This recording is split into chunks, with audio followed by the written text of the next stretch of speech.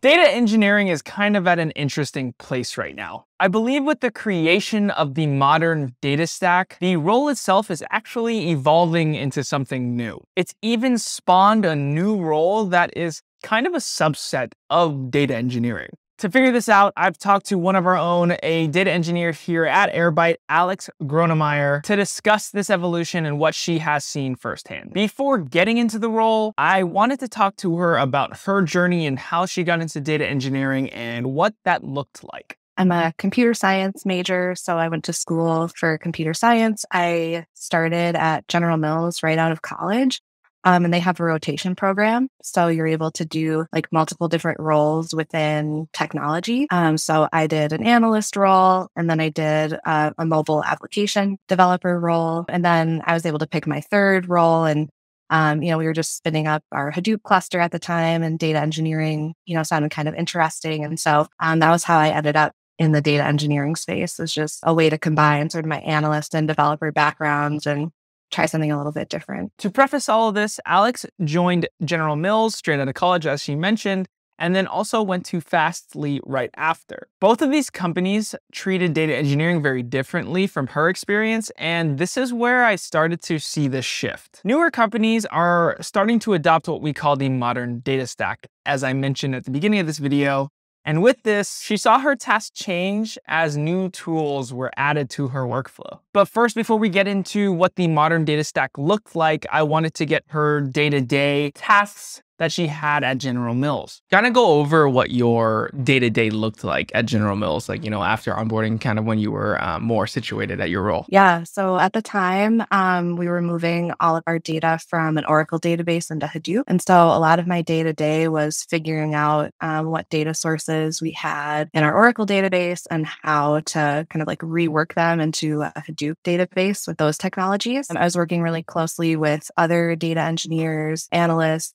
business users to do all of like our testing of data and then with our kind of BI team to do report development as well. So I spent a lot of time in that area working with um, marketing data. And then I also had roles working with enterprise data. So learning about like SAP and, and that kind of source data system, and then also sales data. So, like different sales tools that we had and kind of how all of those connected together. And after this, we got a little into what her day to day looked like at Fastly as an analytics engineer, which you'll see is very different. So I started at Fastly in the middle of the pandemic. So I believe that was like 2020. Mm-hmm. Gotcha. And then yeah. so like go over that transition, like from General Mills to Fastly. Fastly has more of like a startup y kind of name or a more modern kind of name than like a General Mills does. So I'd imagine that transition looks very, very drastic potentially. Yeah, it was really different. So General Mills is like 10,000 person company. Fastly is like a thousand person company, much newer, has only been around for the last 10 years. They're a public company so it wasn't a startup, but still very much like fast paced, newer company culture. And that was my first experience with a more modern data stack. And so they're using an EL tool, they're using DBT for data transformations, and then using um, Looker. And my team was owning like that entire stack. So it was really cool experience. It was um, felt a lot broader than kind of the data engineering work I had been doing before, but really different. I mean, completely different cultures, different like data maturity, um, different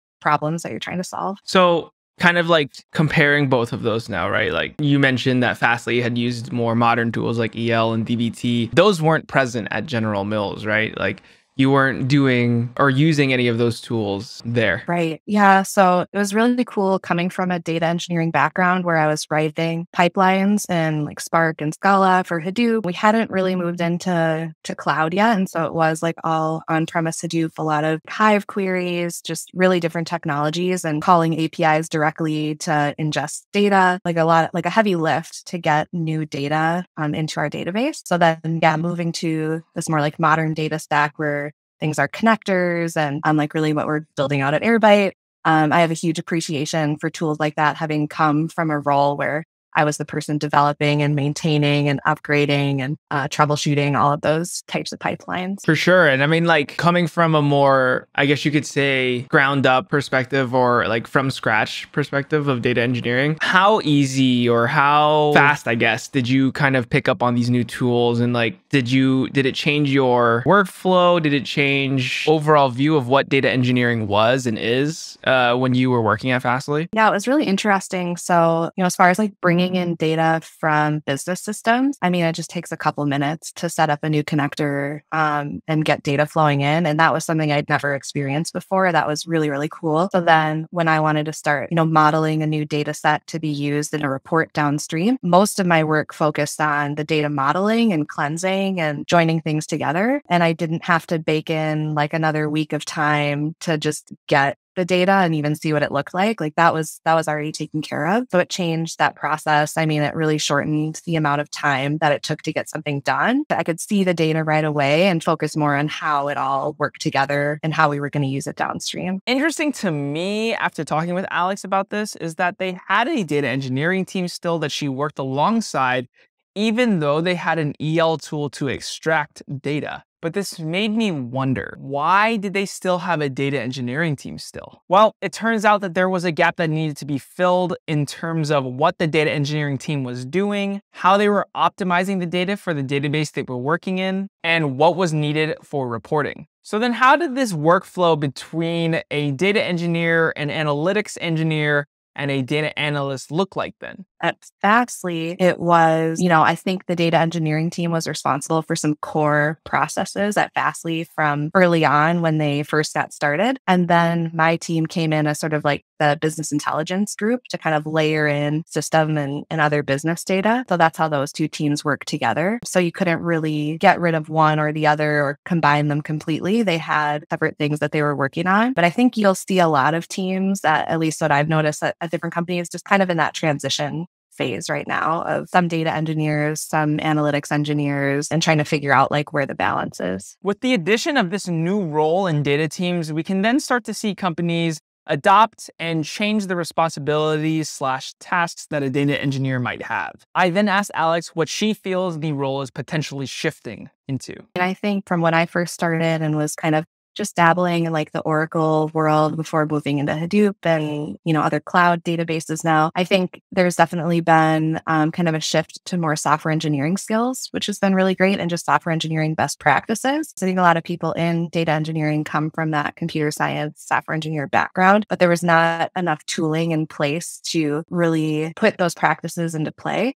And so you're seeing a lot more things like um, source control. Um, you're seeing, you know, a lot more like reusable code and modularized code and testable code, which is really, really hard to do with data. And so all of those things I think are shifting in the data engineer and analytic engineer role. And then you mentioned, I think your question was around how is the data engineer evolving? Mm-hmm. Um, so yeah, I think I think software engineer skills. I think like SQL is still like king. I think you like that's still a really strong skill set that you're seeing across the board, whether it's data engineer, analytic engineer, analyst. I think really strong SQL skills are still really important. And then there's just different tools to kind of like put that SQL to, to run it against your data warehouse or your BI tool or, or things like that to centralize that code and make it reusable and more understandable and maintainable. And then I think data engineer is still necessary. Like I think, um, I don't think that role is going away with these tools. I think it's just evolving evolving to kind of, you know, include more technology. I think things like I mentioned are getting like more like observable, more testable. Um, I think those are all like really great improvements and they're just expanding the skill set that a data engineer needs. Another responsibility that data engineers could have that I have personally heard from is setting up the actual data infrastructure itself with tools like Terraform and with the adoption and shift into data warehouses in the cloud with GCP and AWS. Yeah, I think it definitely depends on the company, but I have seen things trending a little bit more that direction where your data engineer team might also take on some of those infrastructure responsibilities uh, and focus more on especially things like Airflow, where you're like orchestrating pipelines and, and everything like that. And then your analytics team is kind of picking up from there and use, you know, modeling and getting data ready to be consumed by more business facing users. Now, if you're watching this video and you're looking into becoming a data engineer, you may be wondering, what should I be learning if all these new tools are out? Should I be learning how to use them instead? Or should I be learning everything about data engineering and how they used to build pipelines from scratch and how to maintain them? Good question. I think having come from a data engineering background and like building out pipelines, I really appreciate what all the tooling is doing for me. And so I think there's definitely benefit in still understanding why these tools are in place and what they're what problems they're helping to solve and why it's um, so powerful to have a tool like Airbyte or DBT where you can have source control and you can just connect data um, in a matter of minutes instead of days or weeks that it used to take before. Um, so I think it's cool to have an appreciation for that. I don't necessarily think you need to start all the way back from traditional data engineering and work your way through to have that appreciation, but it's just good to understand more than just learning the tool, understanding what it's doing, why it's there, what problem it's solving why you might use it. And then, you know, like I mentioned before, I think SQL is still like really prevalent and and super important. Learning things about source control is really important, like software engineering best practices of, you know, reusable dry code